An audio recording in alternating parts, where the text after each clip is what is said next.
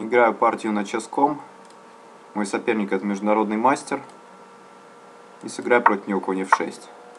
Он, наверное, сейчас будет каталон разыгрывать. Но я поставлю такую стеночку со слон f5. Есть в каких-то вариантах ход конь h4, не знаю, пойдет ли так соперник. Отойду, если что, слон g6.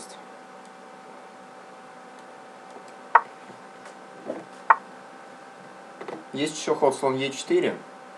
С расчетом на то, что он возьмет конем, я возьму de и g5. Но он может просто сыграть f3 и потом e4. Получается, я просто, наверное, подарю ему ход. А что если слон g4 сыграть? То есть попробую оставить слона на связке. Вызвал g4 и считаю, что это ослабление короля. Ему будет труднее развить инициативу. Потому что постоянно нужно думать будет о своем монархе. Ферзь b6 теперь. Пытаться привязаться к пешке d4 нужно. И может быть где-то g5, чтобы потом коня перевести через f8 на g6. Есть такой план. Правда, после коня f3 пешка подвиснет. Вот это мне не очень нравится. Поэтому пока конь g5. Поближе к пешке h3. Уйду в 3 нуля. И мой план будет основан на атаке пешки h3. Жертва, естественно, пока не проходит, нужно отходить. И здесь уже, наверное, можно будет где-то g5 подорвать. Пока что не получается.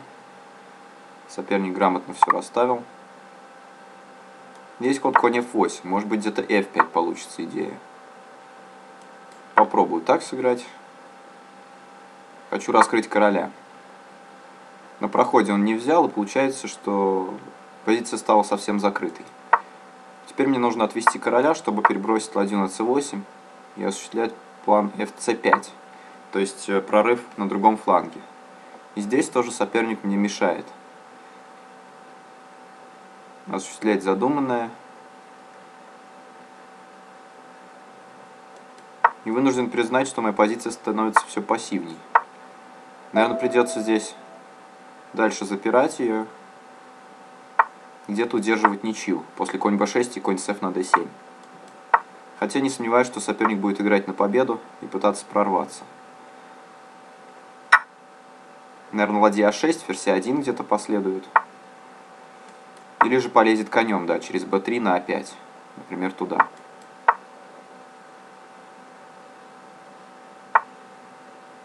Так, конь c5 решил. Ладно, заберу. Король b7 и ладья а8.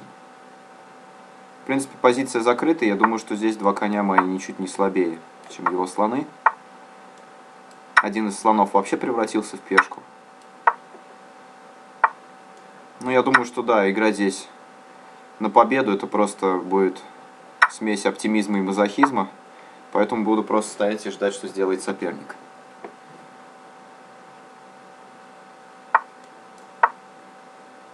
На h5 есть у меня такая реплика, как конь f8, например. И на hg конь g6, и в принципе поле h4 держу. Хотя, наверное, можно даже обойтись без этого. Сыграть gh и потом конь на f8. Такая стойка. Если он ничего не делает, то я просто задвигаю g6, и это ничья, как минимум. Но он пропустил вперед слона, да. А вот теперь мне нужно думать, как его поймать. Потому что я могу где-то сходить g6. Пока что, разумеется, нельзя. Пешка под боем.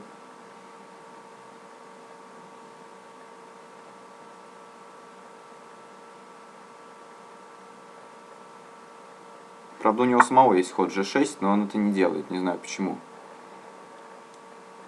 Ладно, закрою позицию. Я думаю, что этим ходом просто фиксирую ничью.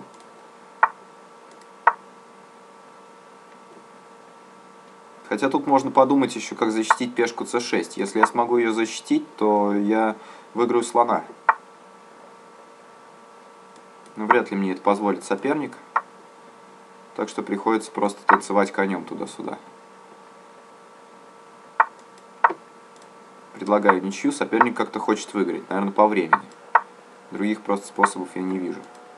У меня же еще есть ходы королем.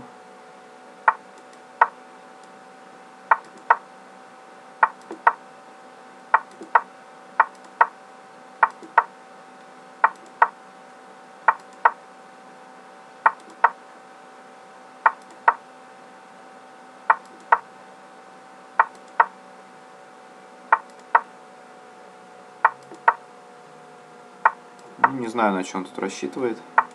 Просто доигрываем партию.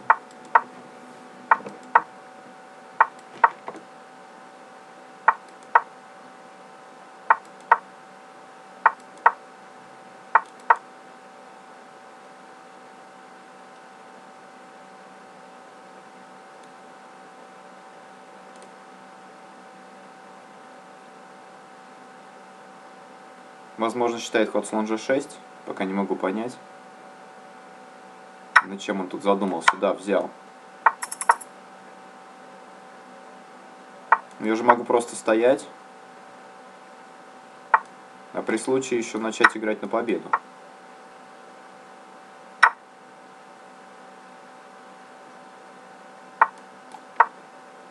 Не попадаюсь в ловушку, потому что если бы перевел коня на Е4, получил бы просто слон Е1 и мой конь был бы в капкане, я бы проиграл. Поэтому должен был отойти конем на 3, и после этого уже, естественно, ничья.